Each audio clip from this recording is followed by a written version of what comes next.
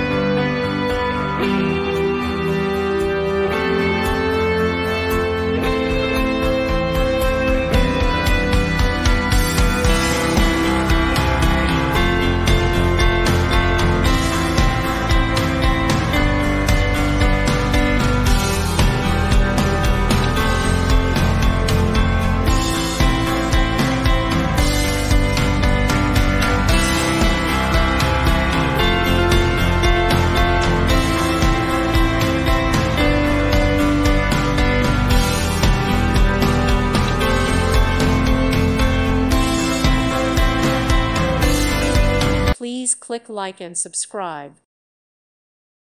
Thank you for watching. May God bless you and keep you.